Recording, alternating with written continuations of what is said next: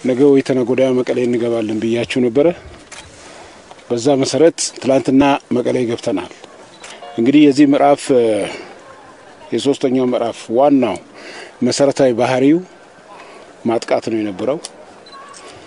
ይሄ ማጥቃት ደግሞ በመሰረቱ የጁንታውን ቡድን ይዞ ወደ ፍርድ ቤት ለማቅረብ እነሱ እንዳያዙ የሚከላከለውን ኃይል አጥቅተህ ከተቻለ በመማረክ ወይ በማቁሰል ወይ በመግደል እነዚህን ሰዎች መያዝ ነው የነበረው። ማጥቃቱ ባህሪው ይሄ ነው።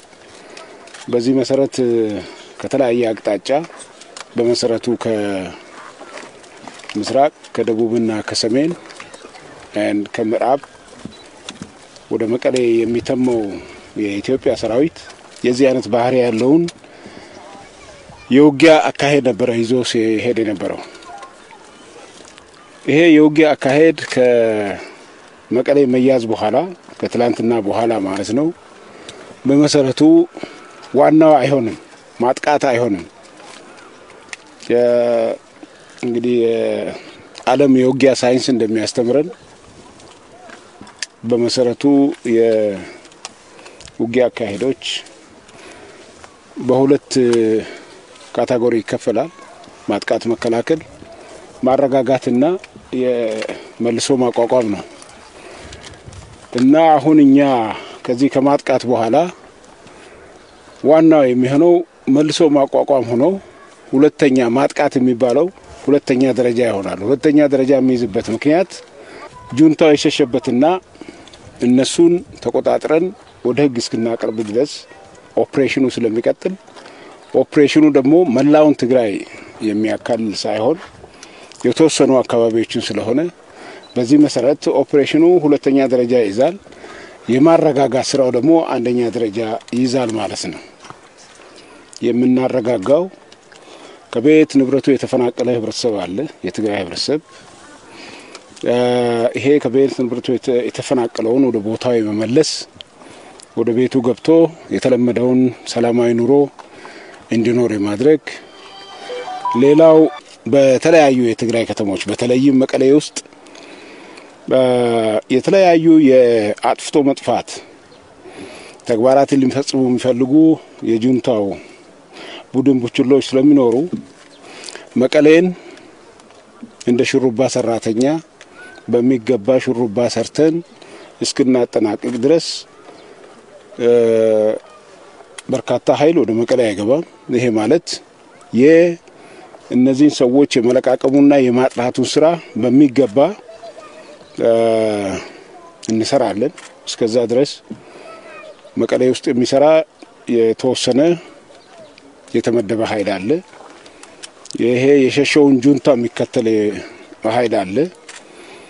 ሳይሰሙ ደግሞ ስለ መሸነፋቸው ሳይሰሙ በየቦታው ምሽጋቸው ላይ ሆነው የጁንታው ኃይል ስንቅ ይስልክልናል፣ መመሪያ ይሰጠናል ብሎ ደግሞ እዛው ተጎልቶ የቀሩ አሉ። እነዚህ ተጎልቶ የቀሩትንም ለቃቅመን ወደ ትክክለኛው ህይወት እንዲመለሱ የማድረጉ ስራ በዚህ አይነት ተከፋፍለን እየሰራን እንገኛለን ማለት ነው። በዚህ መሰረት ይሄ የሶስተኛው ምዕራፍ ኦፕሬሽን ተጠናቆ የመረጋጋቱ ስራና በሁለተኛ ደረጃ የኦፕሬሽኑ ስራ ይቀጥላል ማለት ነው። እነዚህን ሁለቱን ካጠናቀቅን በኋላ ይሄ መልሶ መቋቋም የሚባለው ስራ ይቀጥላል ማለት ነው። ይሄ መልሶ መቋቋም የፈረሱ የመሰረተ ልማት ተቋሞችን የመገንባት እንደ አክሱም ኤርፖርት አይነት ነገር፣ ሌሎችም አካባቢዎች እንደዚሁ እነዚህን መልሰ የምታደራጅበትና የነበራቸውን ከውጊያው ቀደም ብሎ የነበረውን ቁመና ሊይዙ የሚችሉበት ደረጃ ማድረስ ማለት ነው የሚሆነው። እሱ ከዚህ ከማረጋጋቱ በኋላ የሚመጣ ነው። ስለዚህ የመጀመሪያው ልገልጽላቸው የፈለግኩት ይሄ ነው። ሁለተኛው ስለ ሊገልጽላቸው የፈለግኩት ነገር ምንድን ነው? እየተማረኩ እያሉ ማረክን ስለሚሉት ወሬ ነው። እሱን ልገልጽላችሁ የምፈልገው ትላንትና ሰምታችሁ ከሆነ ሰላሳ ታንክና ባጫ ደበሌ ማርከናል የሚል information ሰምታችሁ ይሆናል። የሚገርመው ነገር የመረጃው ምንጭ ራሴ ነኝ። ይህን መረጃ ያገኘሁት በመጀመሪያ ራሴ ነኝ። ምክንያቱም ጠላት ምን ሊያደርግ እንደሚችል እየተከታተልኩ ነው የማዋጋው። የውጊያውን የምመራው እንደዛ ነው። የመጀመሪያ information ኑን የተናገረውንም ሰው አውቃለሁ።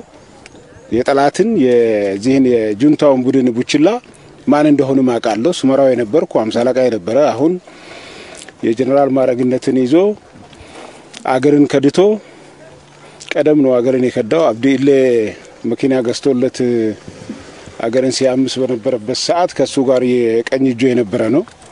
አሁን ደግሞ ከጁንታው ጋር ሆኖ ይህን ስል የነበረ ሰው ነው። በዚህ እኛ በነበርንበት ግንባር የነበረ ማለት ነው እና በ information ኑ ሰምቼዋለሁ። information ኑ እንግዲህ በተለያየ መንገድ ወደ mass social media ወጥተዋል። ስለዚህ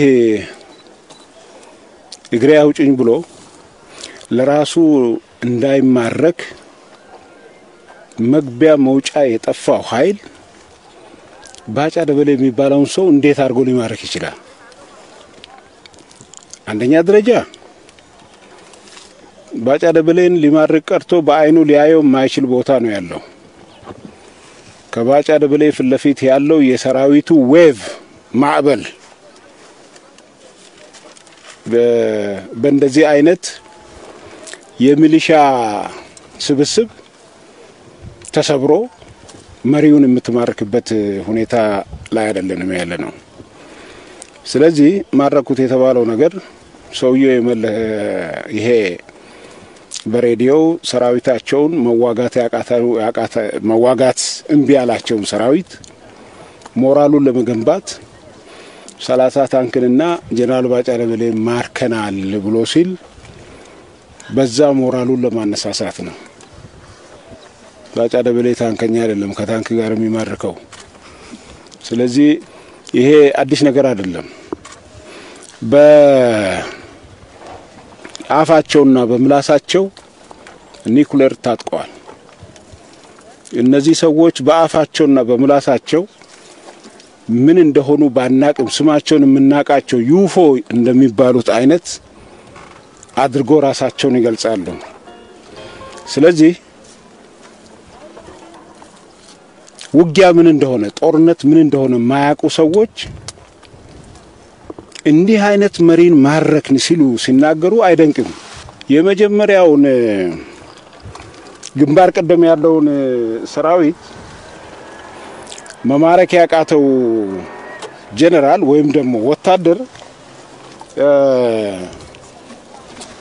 የግንባሩን መሪ መማረክ አይችልም።